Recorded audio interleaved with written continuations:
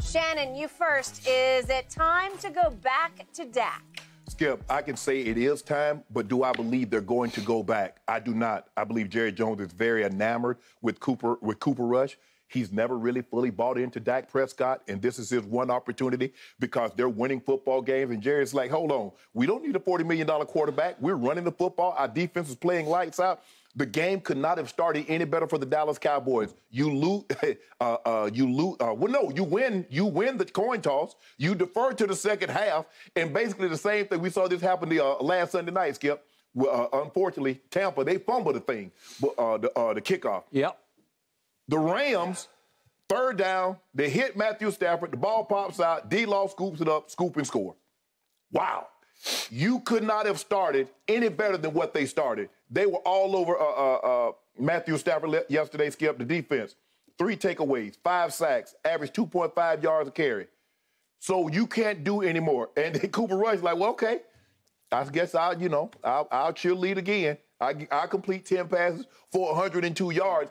And Skip, as long as you, your defense is going to do that, you look at what they did, gave up 17, 16, 10, and 10. They're giving up 13 points a game, which is fourth in the National Football League. If you're going to play that kind of defense, if you're going to attack the quarterback like they do, if you're going to take the ball away like they did, if you're going to hold them, uh, they can't run the football. We knew the Rams' offensive line wasn't very good, and they didn't run the ball very well, which was tailor made for the Dallas Cowboys. And so Cooper Rush didn't have to do a whole lot yesterday. He hadn't had to do a whole lot considering if you look at the, uh, uh, go back and look at the numbers that that defense has given up, Skip. I do believe that if Dak is healthy, they should go back because I believe Dak for the long term. But do I believe they're going to go back? I think you start to come around. You you you're like, okay, with Dak, you need to show me you're on the hot seat. I don't think Dak gonna be on the seat at all, Skip. Mm-hmm. Cooper Rush, that 10, I mean, I'm like, damn, I'm like, come on, Rams, y'all can do more than this. He only had to throw the ball 16 times, Skip. He had 10 completions. They only had, what, 50, I think, well, 50 total plays that counted. But no, 53 total plays, 239 yards, and you win the ball game by two scores. So that just goes to show you how well they're playing defensively. They're running the football. They ran the football. They got that one big splash play from uh, Tony Pollard, and really that put the ga- uh, ball game out of reach. So unless you can make Cooper Kupp a participant in these ball games, Rush, which means yeah. Cooper, Cooper Kupp. Unfortunately, they, they allowed Cooper Kupp to be a participant. Yeah, yeah they did. He, he he got loose, but that one play other than that, Skip. Unless you can unless you can make Cooper Rush a participant in these games, an active participant, and I'm not saying. You know, Skip, you got to pour him that he's down by two scores, and he's got to play well throughout the course of the ball game. Not start well, go through a lull, and then make two or three uh, throws at the end of the ball game to beat you or get you in field goal range. And if you can't do that, it's going to be tough sledding beating the Cowboys because their defense, they're starting to, they're starting to get that walk about them, that swag about them. That when they step on the field, no matter who the opposing defense is, they're like, "We the baddest mofo's out here today, that guys." That is correct. And nothing y'all can that do about it. That is correct. Shannon Sharpe, what did I tell you all off season? Mm-hmm. My team will go as far as Micah Parsons, 11 from heaven, and Micah's Marauders will carry this team. Well, they carried them. Help me out. Do you foresee this team getting in a 35 to 32 shootout? I, I think, Skip, there'll be one game where you know you're gonna your, your defense is gonna be a little off and, and, and, and, teams might have the numbers. So I don't know if it's a 35, 34. I don't definitely don't see no 38, 35 ball game. Maybe, maybe, Skip, maybe a 28, maybe a 28, 31, maybe a 28, 24 type of ball game. But you got to get more than 20 points. I, I don't see any anybody being able to shoot out on my defense. I just don't can see it. Get, I, I could be get, wrong. Can somebody get to 20? How about that? Skip, skip, forget shootout. Can somebody get to 20 to force Cooper Rush to get to 27? Maybe, maybe. Remember back in 2019 when Dak started off hot the first three yeah, games, and yeah. then Jerry said we're imminent on mm-hmm. getting a contract done, right. and all of a sudden. Dak and his new agent went to contractual war with Jerry Jones, and they eventually won. Yeah. Through gritted Jerry teeth, they won. Yeah. They took him to the bank, they took him to the cleaners.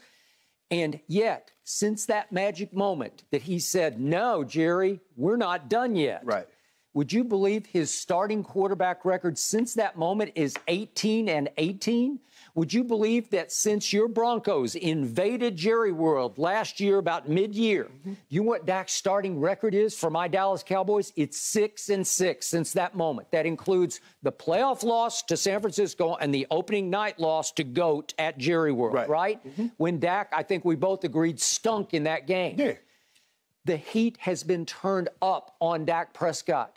Dak Prescott was front and center after the game. Dak spoke more than Cooper Rush did in the locker room after the game because he's saying, Remember me? Yeah. yeah. I, am the guy. Oh, it's know, my team. You noticed that too? Yeah. I know what type of team we could be when we healthy. Yeah, when we're healthy and we can be an off, explosive offense. That was a shot at Cooper Rush. We're going to dive deep into it, that it in a few minutes. It was. But the point is that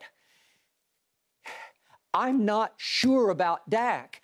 And I, am not sure about this formula with Cooper Rush, except that it's 4 0. That's all I know is that Cooper Rush is as far from Dak Prescott as you can get in ego because he has none. He doesn't care if he even speaks after the game. He doesn't care if he speaks during the week. Right. All he does is he goes out and says, What am I required to do today? Mm-hmm. If it requires me to throw, I will throw. And, and I'm going to remind you, it required him to throw up at Minnesota last year when he threw for 325 and threw a touchdown pass with 55 seconds left. It required him to throw against the defending AFC champ Bengals when in the last minute of the game they were in some trouble. The game's tied, and he hits three straight big clutch passes. I saw it with my own eyes. It was clutch, clutch, long distance clutch to set up a walk off field goal. Mm-hmm.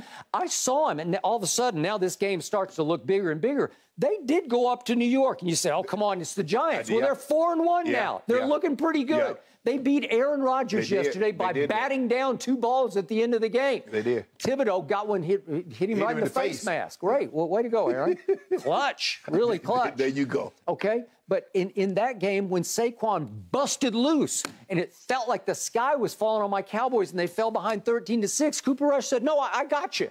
I got you. And that's why Demarcus Lawrence said after the game last night, we know he's had our back the whole time. We trust Cooper. Well, they do. He he did what he had to do at New York with two long drives. They were like 89 yard drives. Skip, I will give him this much is that anytime a team takes the lead, because the Rams did take the they lead did. 10-9. I agree. And they, he came immediate. It's always, he will answer immediate.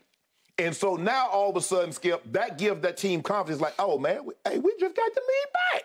And so now they come out, the defense come out, and they dominate even more so than they had up until that point. That is give, correct. Give, I'm gonna give him some credit, Skip, but he did what he needed to he, do, even though is, it wasn't much yesterday. He is the answer man against Washington at home. Yep all of a sudden Carson Seven, Wentz, six. who's capable of, throwing, he, Carson Wentz played pretty yesterday. well yesterday, and then he gags at the end and throws it to the other team at the goal line. Yeah. Okay, that's Carson Wentz. Right. But he's capable of being ahead seven to six at Dallas, which he was. Right. And all of a sudden, Cooper Rush said, "No, I, I got this." Right. And they rushed for nothing against Washington. It was they had 42, what was it, 62 yards rushing, mm-hmm. gave up 142, and all of a sudden, Cooper Rush said, Oh, you need me to make some throws? I'll make these throws. Right. And he hits CD for the breakaway touchdown. He makes all the throws he needs to make. So here's my takeaway from last night it would be wrong, it would be unfair to throw Dak back into the fire at the Eagles. They are on Philly fire. They, they, managed to survive, as Jen pointed out. She was there yesterday, but they managed to survive when Ammendola missed a 43-yard field goal. Right. But look at what they're doing with the turnover differential. They are running away with it. Is that not the stat in yep. pro football? Mm-hmm. They're the hottest team. They're the you've said repeatedly they're the best team. How fair would it be when Dak's not exactly sure how strong he can grip a ball under fire to throw him into that fire at Philadelphia? It would it just wouldn't work. It, it, would be unfair to him. It'd be unfair to the football team because they would forever be wondering, I wonder if Cooper could have won this game. You, you do realize, like, the more Cooper Rush wins, the further okay. that that right. date that date that Dak is ready to play All right. gets pushed I, I back. I keep harking back to 1991. I saw Jerry Jones and Jimmy Johnson do just this same thing with yeah. Steve Beuerlein, and you know Steve Beuerlein. I do. I play and, with Beuerlein. I, I don't believe he's better than Cooper Rush, but we could argue that all day. Oh, They're oh, you don't think Beuerlein was better than Cooper? No, no. I, I'm I, am i am saying I, I, think Cooper Rush is better than Steve Beuerlein you do? was. Oh, yes. I disagree. Okay. All right. Okay. Well, go back and look at the numbers Steve Beuerlein was putting up there, Cooper-esque numbers. But the point is that in 1991 he got a hot hand. Troy Aikman was the first pick in the draft, and he healed his sprained knee. He was ready to go. They made the playoffs. It was a breakthrough. Nobody saw him coming, and they're going to Chicago to play Ditka's Bears. And Jimmy and Jerry, the, the co-signing, said, Troy, no, I, I, we know you're completely healthy. We got to ride the hot hand. Right. It's the same thing all over again. Okay. We got to ride the hot hand. And by the way, Steve Beuerlein won a huge game at the end of the regular season at Buddy Ryan at Philadelphia, against Reggie White and mm-hmm, company. Mm-hmm, mm-hmm. And, and that set the table for what was about to come. Okay, well, is history going to repeat where the, the second after Steve Beuerlein shocked Ditka at Ditka, they went to Detroit and got their doors blown off yeah. by the Lions. It wasn't Barry Sanders, it was Eric Kramer. Right. But the point was, is that going to repeat on next Sunday night? Will they get their doors blown off? Well, it's possible. I just want to see what Cooper Rush can do. Well, you I want to see if the formula works. You, so you asking, you know, you're asking for trouble. You know, he Cooper Rush goes to Philly and beats Philly. Okay. You, I, it's a great problem to have. Why wouldn't I want? That's what Jerry was saying when he said I'd walk all the way to New York for this problem because it's a great problem to have. You can figure this out. Is Dak the answer for the long term? I still think he is, but every time I watch Cooper Rush operate the offense, I say, God, this works. Yeah. Because the defense is obviously, to your point, getting swaggier and swaggier. Yeah. This defense walks on the field and says, We got this even against Matt Stafford. I know his offensive line isn't even remotely what it was. And they the, the shock to me is that they had only 38 yards rushing after Washington ran wild on Dallas. But they showed me they bowed up. It was a manhood game for them to stop the run, and they shut it completely right. down. Well, they know if they can stop the run now, we can just pin our ears back and go get okay. Matthew Stafford. And, and they, and they haven't been able to run the ball all year, Skip. Okay, so the beautiful formula is that if, if you win the takeaways three to nothing, especially if you can get two quick ones, and all of a sudden it's nine to nothing because your snapper misses yeah. the call. He's, he's yeah, he snaps it early. Yeah. Okay, it should have been ten to nothing, but whatever. But it, the, the point was if if you win the, the turnovers three to nothing, and you get a and, score on their possession, yeah, and you you got to scoop and score, and and y- y- you can still you can let Cooper Kupp get loose one time, and that that's the only thing. Like like it should have been like a held him to three points because help me out. If we could see, it's nine to nothing, right? Mm-hmm. The point is he's faster than you think he is. Yeah. And, and here's my other point.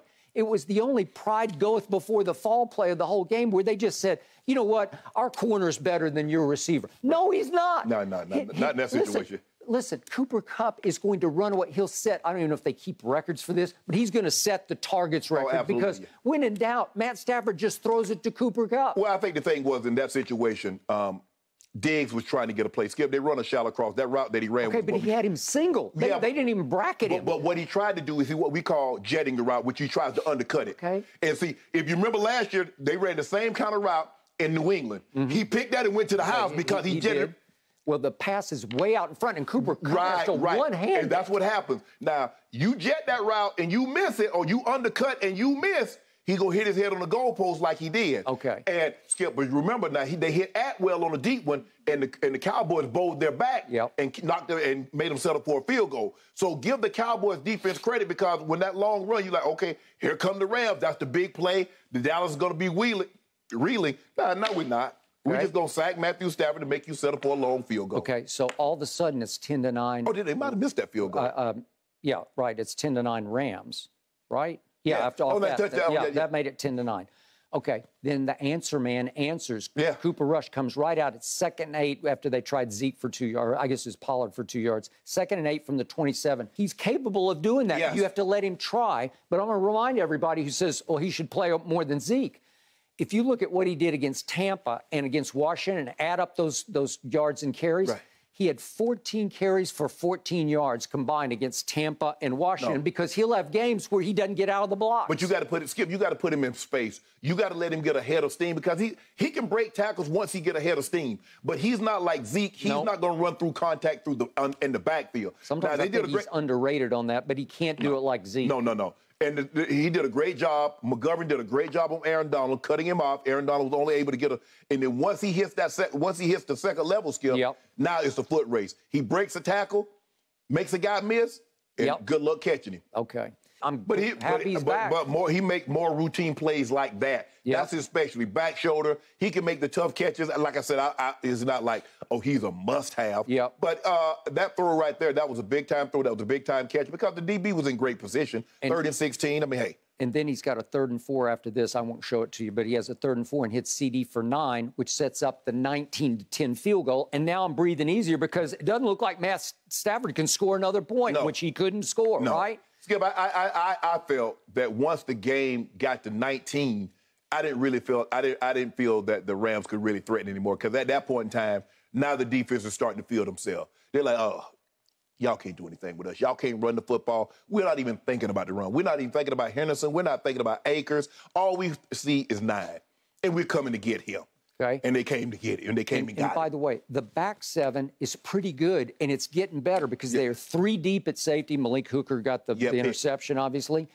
And Diggs is playing at a high, high level. Yeah. I know he tried to jet that and, and he gambled and he, He lost. did. That's going to happen. And that's all they got the whole game. They got a 75 yard breakaway. And, right? the, and the long one, the, the Atwell, where Yep. uh, Diggs just opens up on him and Yep. just lets him run by him. I don't know if that's the right I'm call not, with sure somebody that, kind was. of speed. It was a Von Miller special. He got some dip going and he got some some Yep. leverage underneath him, Yeah. and all of a sudden it's over. And I just hope that Micah's groin is going to hold up for next Sunday night. But I'm assuming if he got if he came back in, you should be okay. Well, the thing is, Skip, he's not going to practice. He'll get an opportunity to rest it all week. I agree. week. I and Then, the, hey, if you're going to hurt this groin, you damn sure not going to hurt it in practice. You're going to hurt it in the game against the Eagles. So rest up, ice up, get as much treatment as you possibly can, and get ready to go. I'm a little more concerned about Demarcus Lawrence because he banged his head and they took him out. And I, they didn't say he's in concussion protocol, but I'm pretty sure it was a concussive issue. Okay.